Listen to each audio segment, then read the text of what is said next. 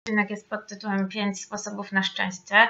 Od razu na początku powiem, że tych sposobów wcale nie będzie 5, będą tylko dwa, bo ja więcej nie znam.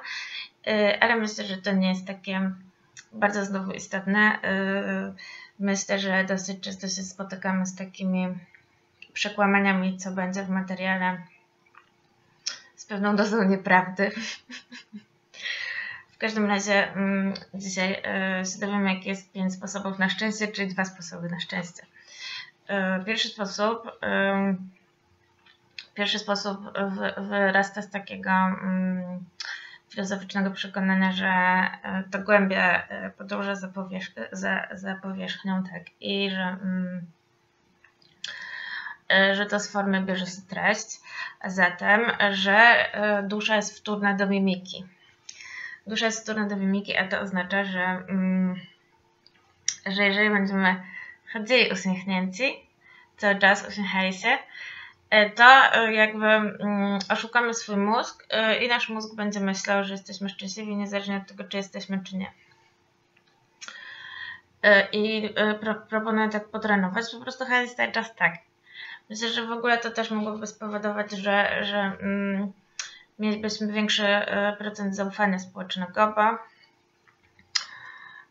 e, bo e, oprócz tego, że swoją własną mimiką oszukiwalibyśmy siebie samych, że jesteśmy szczęśliwi, to też inni myśleliby, że jesteśmy szczęśliwi, a jak inni myśleliby, że jesteśmy szczęśliwi, odpowiadaliby nam na uśmiech i u nich też zaczynałby działać ten mechanizm takiej autosugestii. autosugestii. To jest pierwszy sposób na szczęście. Y, myślę, że y, on jest dosyć niezawodny. Y, co więcej, pozwala przeskoczyć, przeskoczyć jakby przestać myśleć o szczęściu jako o złożonym mechanizmie, na który składa się bardzo dużo różnych czynników. Po prostu pozwala on, on jakby zrobić ze szczęścia pewien rodzaj emblematu.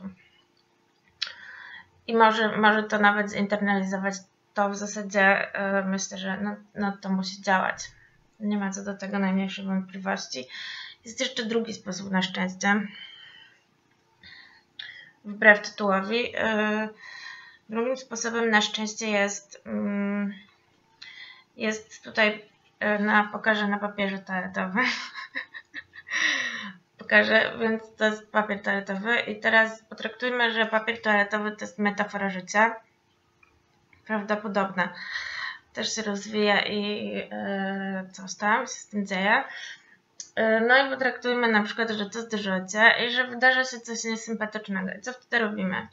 Bierzemy tutaj papier toaletowy na szczęście już ma taką perforację, która jest właśnie przeznaczona do tego, żeby można było zapominać o trudnych doświadczeniach i spychać je do jakiegoś takiego tam, znaczy nie spychać, po prostu się iść dalej, iść e, jakby podążać dalej ścieżką naszego życia i to jest sposób, sposobem na szczęście jest tylko umiejętność takiego pozbywania się tych e, tych takich e, trudnych doświadczeń, znaczy nie pozbywania, tylko jakby przepracowywania ich w, dojrzały sposób.